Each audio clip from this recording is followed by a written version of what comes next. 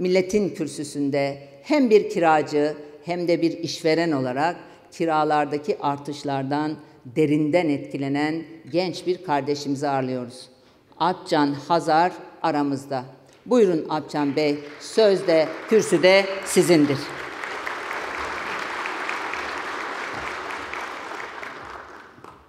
Ee, Sayın İyi Parti Genel Başkanı Meral Akşener, kıymetli milletvekilleri, genel başkan yardımcıları ve üyeleri, hepinizi saygıyla, sevgiyle selamlıyorum.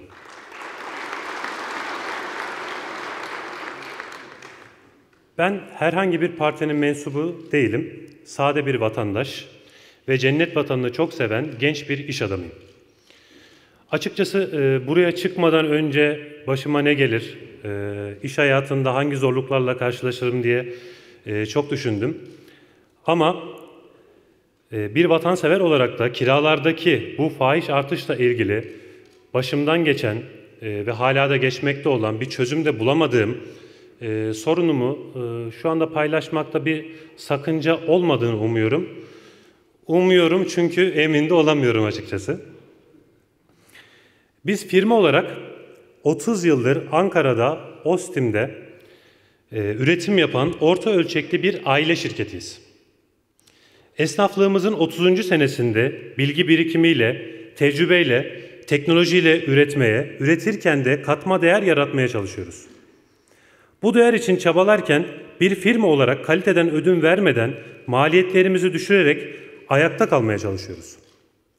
Peki böylesine hassas hesaplamaların yapıldığı bir sektörde bir tesisin, 30 yıllık bir şirketin kirası mesela ne kadar artarsa geceleri uykularım kaçar.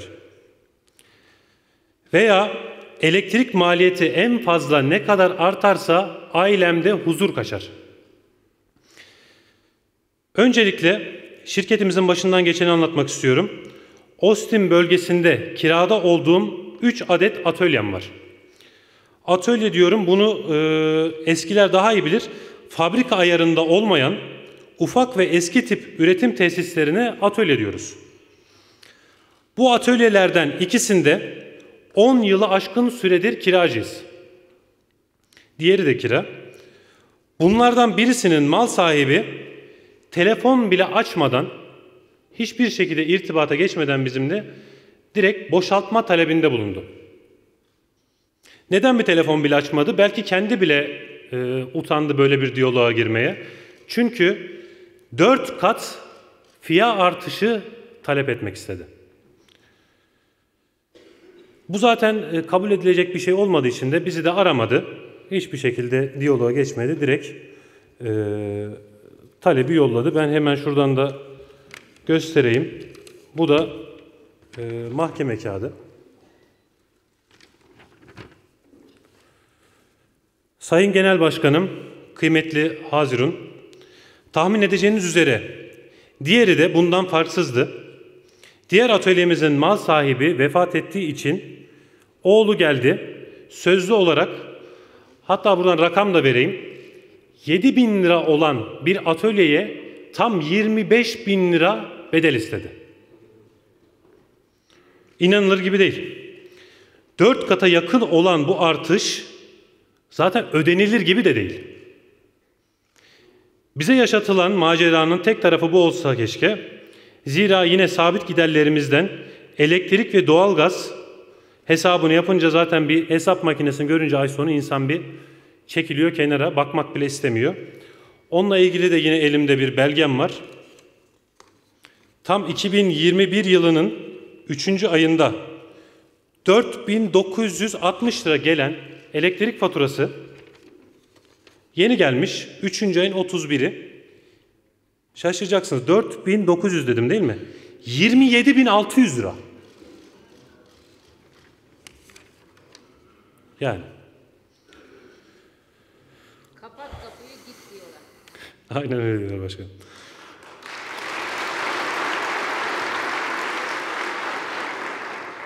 Mal sahibi olmanın hayal olmasını sağlayan herkese huzurlarınıza teşekkür ediyorum.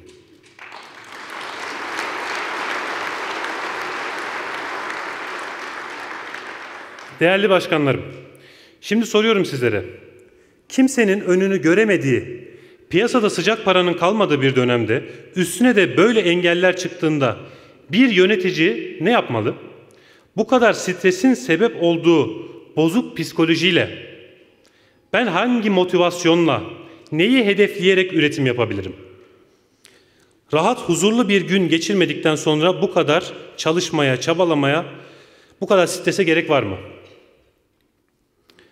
Artan giderlerden dolayı firmaların istemeyerek de olsa işçi çıkartmak zorunda kaldığı, bir anlamda da kapasitesini daralttığı gerçeğini görmek bu kadar mı zor? Her geçen gün artan işsizliği, böylesine bel büken giderleri artırarak neyi çözebiliriz? Bu bahsettiklerimi yaşayan sadece ben değilim, hem sektörümüzdeki firmaların hem de bulunduğumuz bölge olan Ostim'de esnafın büyük bölümünün kira artışları konusunda önemli ve ciddi sorunları var.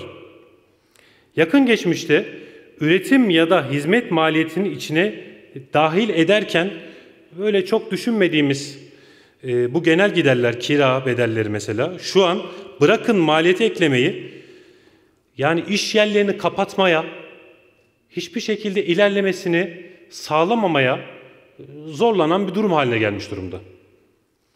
Bizzat yakın çevremde kira artışları sebebiyle personel azaltmakta olan restoran, restoran işletmecisi, çırak çalıştıramayan berber ve bunların da çözümü olmadığı ya da pes etmek zorunda, iş yerini kapatmak zorunda kalan arkadaşlarım mevcut. Bir örnek vereyim. Çankara, e, Çankaya'nın e, elit bir semtinde restoran olan bir işletmeci arkadaşım önce restoranında e, yemek vermeyi bıraktı. Sadece kahve, çay vermeye başladı. Daha sonra şimdi iş yerini daha yeni duydum belki bir haftalık mevzu. İş yerini kapattı ve yaptığı meslek ne biliyor musunuz? Emlakçılık. Emlakçı oldu. Kaldı ki bu kira artışlarının sıkıntısını sadece iş hayatımızda değil, konutlarımızda da aynı şekilde hissediyoruz. Vatandaşımızın mevcut alım gücünü düşündüğümüzde bir mülk sahibi olmanın çok zor olduğu şu dönemde mecbur kaldığımız kiracılığın beraberinde bu kadar yük getirmesi biz esnafları iş yapamaz hale getirmiştir. Artık mücadele daha fazla üretim yapma mücadelesi değil, ayakta kalma mücadelesi oldu.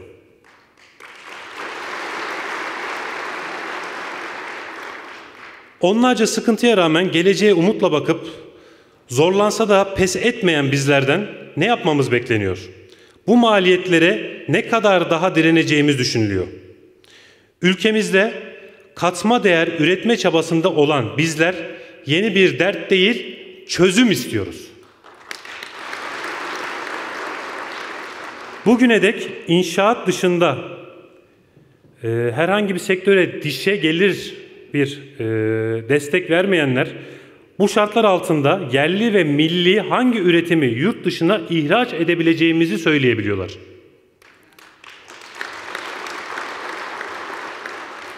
Söylenecek çok söz var da dinleyecek bir merci, müdahale edecek kimse var mı bilmiyorum. Buna karşılık milletin kürsüsünde halkın gerçeklerinin anlatılmasında fırsat veren başta İyi Parti Genel Başkanı Sayın Meral Akşener olmak üzere herkese sonsuz teşekkürlerimi sunmak isterim.